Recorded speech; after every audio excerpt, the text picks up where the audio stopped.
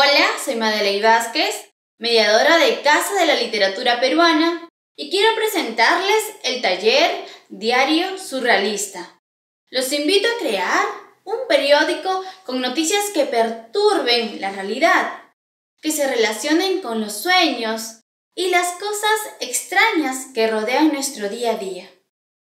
El poeta limeño César Moro vivió en París entre 1925 y 1934, años en que se relacionó con artistas y escritores surrealistas, con quienes compartió inquietudes, como el deseo de liberarse de las normas impuestas por la sociedad, abrirse al mundo de los sueños y desprenderse de la lógica del día a día. El surrealismo proponía una actitud ante el mundo que revolucionara la vida y los conectara a ella sin ataduras.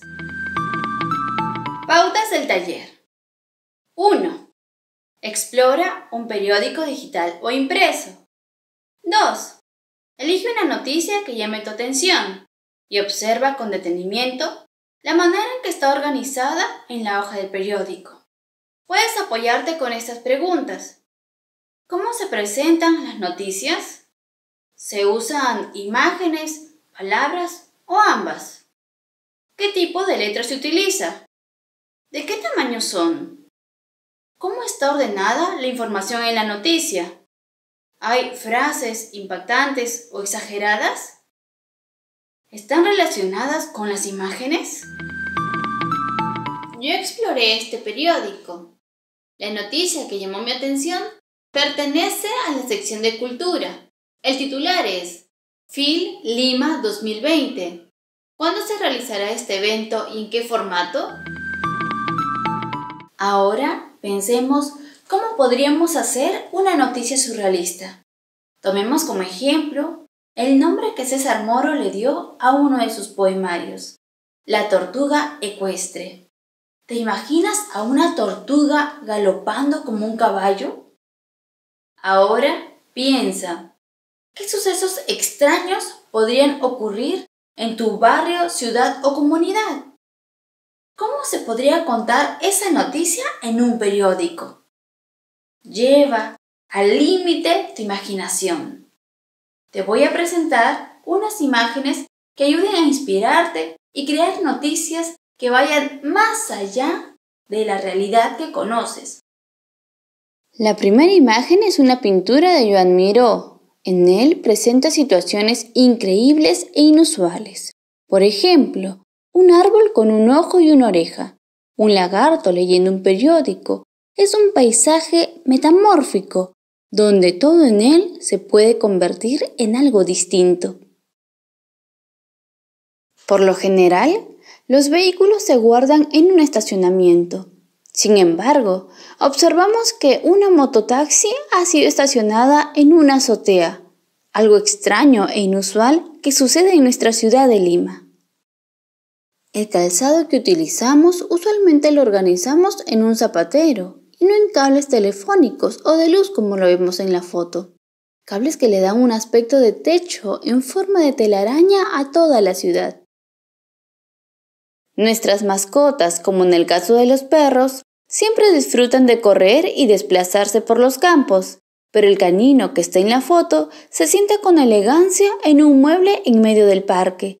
Qué extraño para la naturaleza de este. Te invitamos a seguir imaginando a partir de las fotos que te hemos presentado. Por ejemplo, yo imagino noticias inusuales. El periódico que he creado lleva como titular según normas de ética, está prohibido utilizar cubiertos. Mi noticia trata de que está prohibido utilizar cubiertos en las comidas. Quienes lo hacen van a la cárcel. Ya no usaremos cucharas, tenedores ni cuchillos. Tomaremos los alimentos con cualquier parte de nuestro cuerpo. Manos, codos, pies cualquier otro utensilio que encontremos en casa. Ahora te invitamos a diseñar tu periódico con una o más noticias surreales. Aquí algunas ideas para comenzar.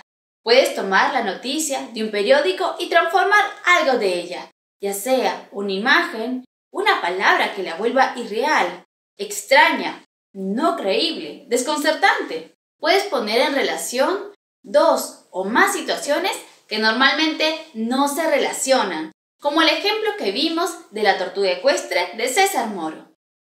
Imagina una situación que irrumpa y desordene la realidad tal y como la conoces. Inventa palabras. Una vez que tengas en mente tus noticias, decide el formato que tendrá tu periódico, sábana, tabloide o formato creado por ti mismo. Para crear tu periódico necesitarás los siguientes materiales. Recortes de diarios y revistas, dibujos propios, hojas de colores, hojas blancas a cuatro o más grandes, tijera, goma, plumones, lápices de colores. Mi diario lleva como nombre Sonar. La sección que he desarrollado pertenece a las noticias locales. El nombre Sonar aparece al desordenar las letras de la palabra razón. La primera noticia de mi periódico surreal lleva como titular.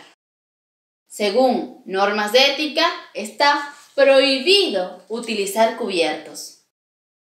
El titular tiene letras de diversos tamaños y colores. Lo mismo hice con el contenido de la noticia. A su vez, está acompañado por imágenes donde se muestra a diversas personas alimentándose por cualquier parte de su cuerpo, hasta por las orejas.